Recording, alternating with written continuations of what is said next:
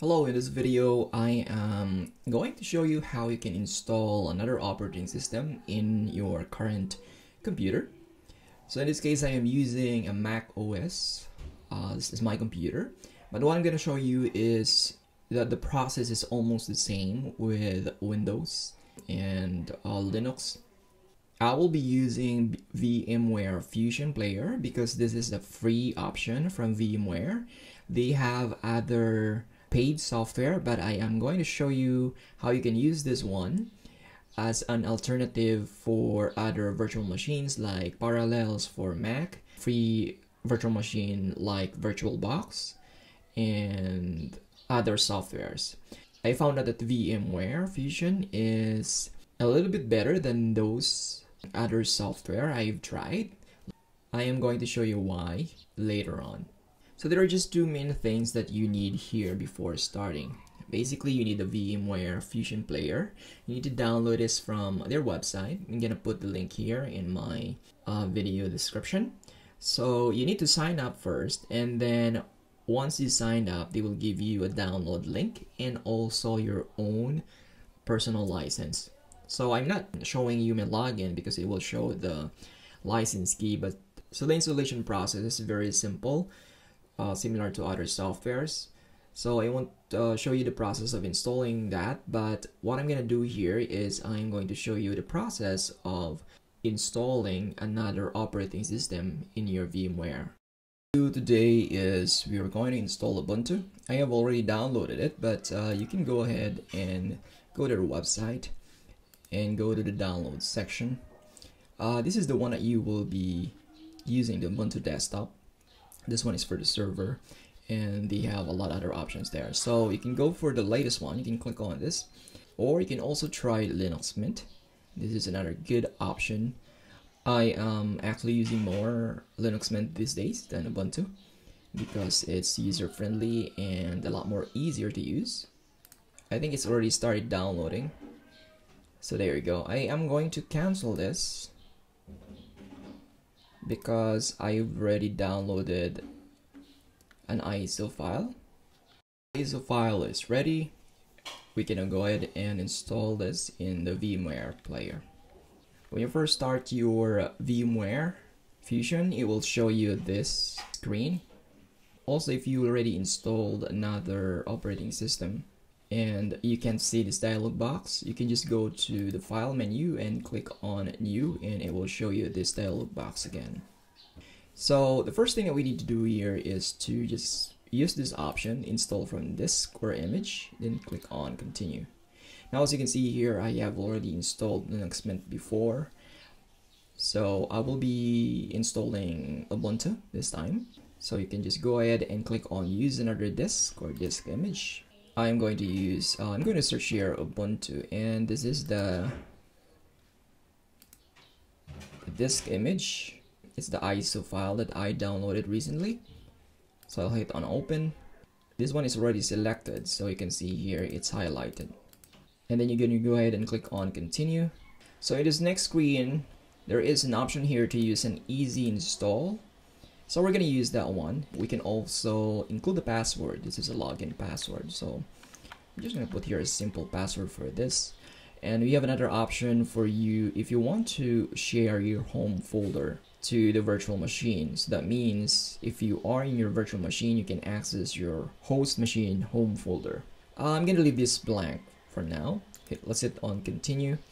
And this is the summary. So basically what it will do is it will just automatically select all the settings for you using the easy install but uh, you can customize this one. So let's just go ahead and review this. Uh, 20 gig is okay. Uh, the memory is 4 gig. I have 8 gig in this machine so 4 gig is uh, enough. You can also customize this. So the device is uh, two CPUs and using all of these uh, devices. So if you're happy with this configuration, you can go ahead and click on finish. That's how easy it is. But if you're not happy, you can just go back and uncheck this option right here. It will basically show you the um, step-by-step -step process of how to change all those configuration. So let's just go back here. and I'm gonna use the easy install for now hit on continue since I am happy with these settings. By the way you can customize the settings later on if you're not happy with these settings. So let's hit on finish. Now what it will do is it will create the virtual machine disk. This is where all the data will be saved for this specific uh, operating system. So let's just say I'm gonna name it Ubuntu so it will be easier for me to find it later. As you can see here, this I have another virtual hard disk here for Mint, which I already installed. So just make sure that you know where folder you have it saved so that you can back it up later on if you like. Hit on save. And there you go. That's pretty much it. So what we'll do is it will run the ISO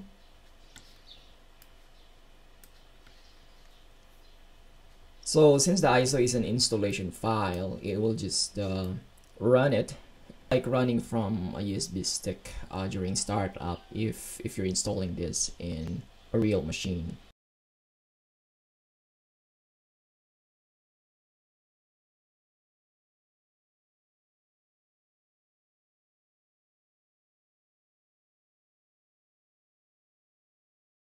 You will also take note that the easy install skip the live test environment where you can go to the Ubuntu desktop environment without installing it. So there is that option. But here, since we use the easy install, it automatically install it to the virtual machine. So we skip those process. And after booting up Ubuntu, it automatically install it.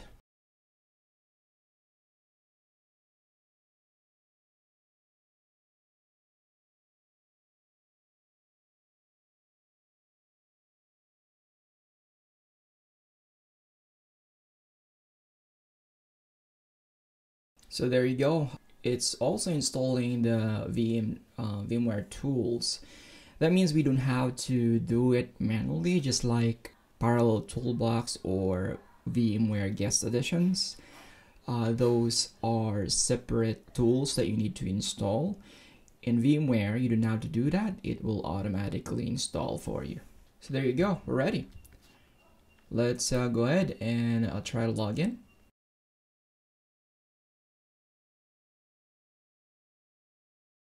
There you go. We're done. That's pretty much it. You can go ahead and uh, go with this uh, steps but uh, I'm just gonna skip this for now.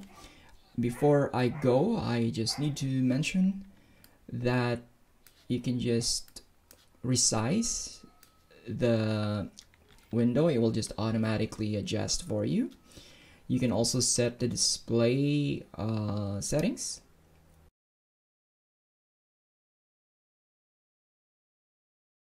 so here here's the resolution. You can also set that. But uh, in this case you can just resize this and that's pretty much it. So the copy to clipboard is automatically enabled too. And uh, you can just go to the settings section if you like to modify some of the settings. But once you install this if you want to restart the machine, it will just go straight to this, to your Ubuntu desktop.